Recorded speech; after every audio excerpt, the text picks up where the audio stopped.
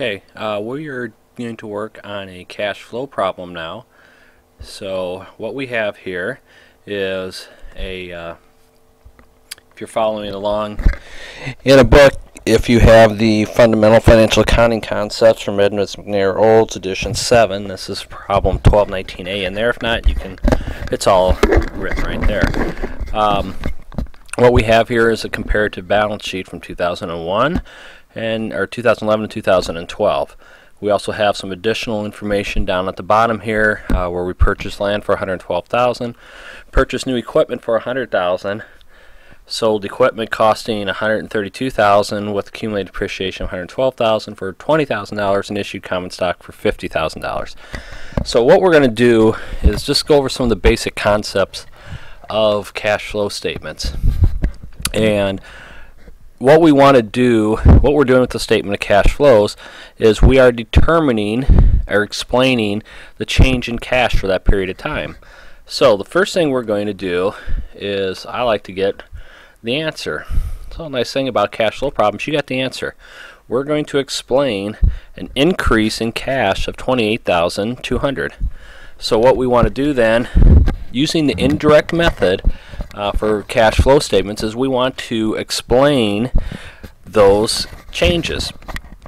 Okay, so the very first thing we want to do is I'm just going to do a little formula here in Excel. I'm going to go equals 2012 number for accounts receivable minus the 2011 number. And so you can see we had an $8,000 increase in accounts receivable.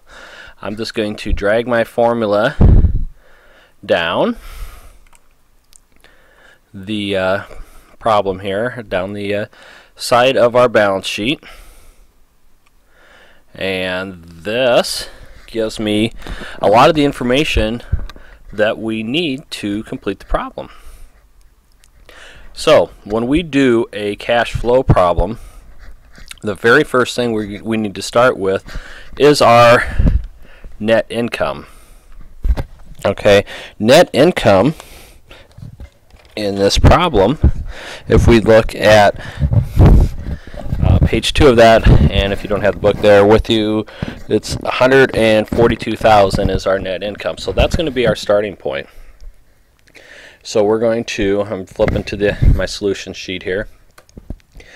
I'm going to have 142,000 in net income. We're always starting from that, and then we're going to adjust that back to cash. The next thing we always do is we do depreciation expense. Okay, if we look at our income statement that is on the page on the book, our depreciation expense, which will be given in in any financial statement, our depreciation expense for the year is twenty-two thousand eight hundred dollars. So twenty-two thousand dollar, twenty-two thousand eight hundred is an increase in is an increase in cash flow. Then, so we've got that information.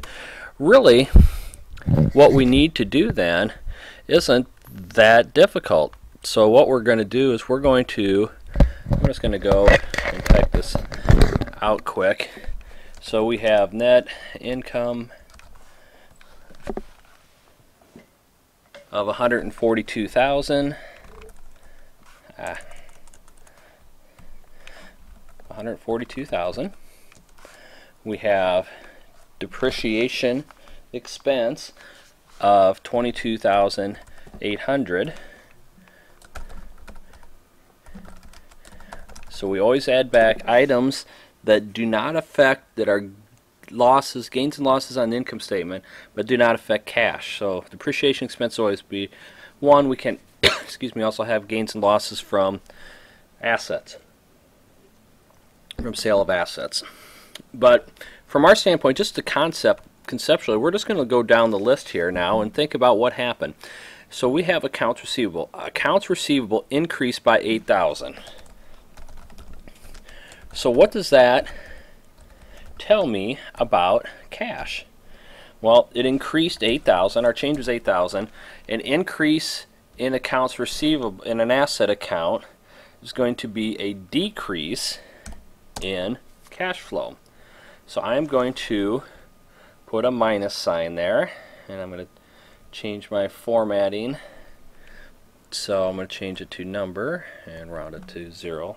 So I'll put the parentheses around 8,000.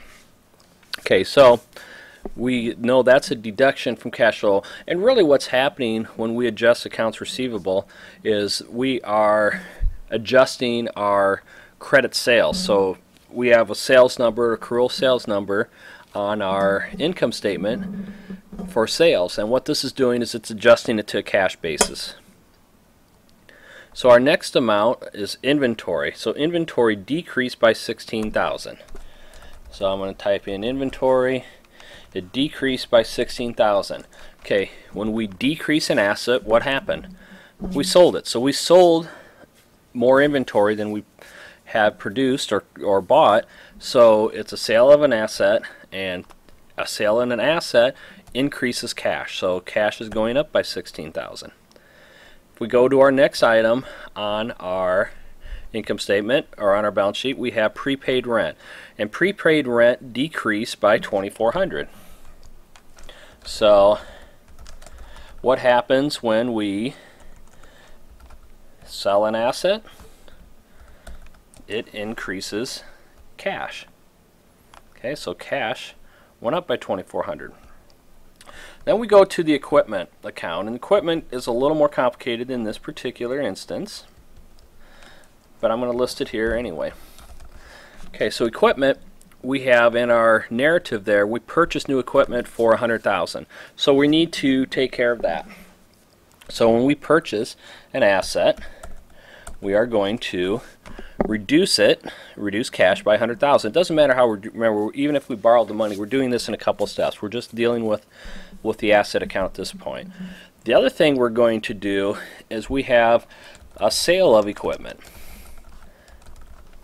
And if you look at the sale of equipment, what what do we care about that? We're reducing accumulated depreciation. We're also reducing the cost of equipment. Well, we had a cost of 132. We had accumulated depreciation of 112 which means we had a net book value of 20,000. So we sold it for 20,000. So we have no gain. So the only thing we're going to record is the sale. We're going to record the sale for $20,000. Okay, so we've recorded our sale of equipment. That should take care of our equipment account. Our next item is accumulated depreciation uh, which we took care of with depreciation expense. Land. Now we see land increased by 112,000 and we had a purchase of land for 112,000. So we are going to type in purchase of land and it was for 112,000. Now is that going to be a increase or decrease in cash? Well, we purchased something, so it's going to be a decrease. Increase in an asset account decreases cash. Okay. Also remember, if appraised value changed, that's not going to change the cash flow statement. Okay. We only worry about that on the actual sale of land or the purchase of land. So we go up and our we have total assets. We're not worried about total assets, so that's just a subtotal. So now we're done with assets. So we go to our liabilities, and accounts payable decreased by 9,000. So what happened? Well, if we had a decrease of $9,000, what do we do? Well, we paid bills, right? So that's paying bills reduces cash by 9,000.